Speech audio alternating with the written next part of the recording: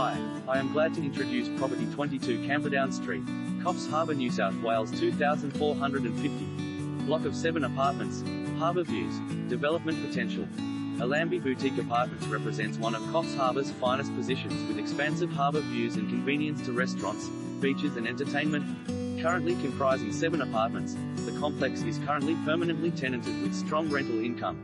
The apartments are a mixture of 2x3 bedroom, 4x2 bedroom and a 1 bedroom configuration. Each apartment offers great flexibility, size and enjoys either a view of the harbour or surrounding hills.